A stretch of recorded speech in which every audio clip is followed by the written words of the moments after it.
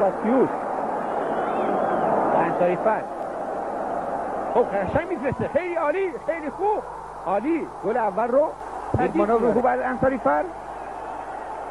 با دور زدن دفاع حریف و توپی که سریع فرستاد روی دروازه با تیزوشی و جایگیری عالی ناصر محمدخانی گل اول پدید میاد به حال آقای دکتر قفوری رو که